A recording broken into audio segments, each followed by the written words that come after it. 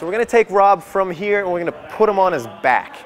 So we're just taking the system and rotating it 90 degrees, okay? So everybody can still see that Rob is uh, up and down and the bar is right there, right? Nothing's changed. We've just taken gravity out of the situation. So we're going to pretend that he's coming out of that back position. He's coming into the up position. So he's coming knees up. Go ahead, knees up. Perfect. From here, I'm just going to ask him to elevate his butt off the mat a little bit. Just like that. You can see he's starting to get a little daylight in his hips and his butt off the mat. Perfect. If he's not feeling that, I'll come over and give him a couple uh, manual pumps there just to make sure he's on the right track. Once he's got that, plant your feet on the ground as if you're about to do a sit-up, Rob.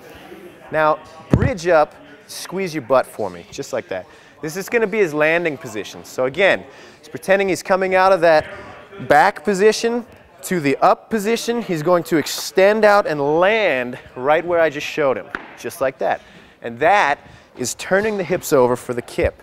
So he's going to go back, forward, back, up and over and open that hip up, turn it over. And he's going to couple that with a nice strong pull that's going to end him up over the bar.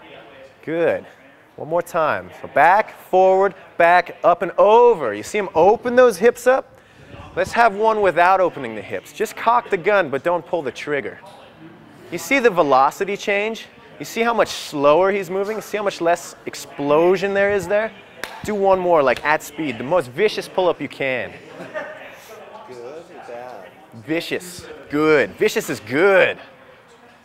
Nice. He had to turn those pull, they, he had to turn those hips over to get that velocity, right? So don't kid yourself by thinking that just doing this is enough. Yeah, it helps, but it's not the full picture. It's not the complete kip.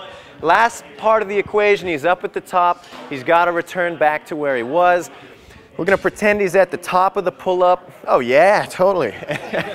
he's successful in his attempt. He's just going to push straight back. Now, you have about that long to do this. So again, we're going to remove gravity from the situation. He's at the top. I'm acting as the pull-up bar. He's going to push straight back. Straight back. Boom. That's all he's doing. Straight back. Boom. Just like that. That's all he's doing. He's to add that to the top of his pull-up. It's to spit him out way back and forward, which gets him into this nice uh, starting position that we established, ready for the next rep. Okay? So add that little push on the top. Make it perfect. Yeah, right now.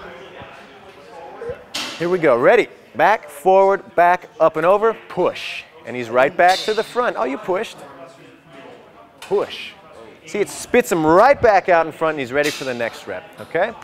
Let's get some muscle up practice and we'll come on back to this.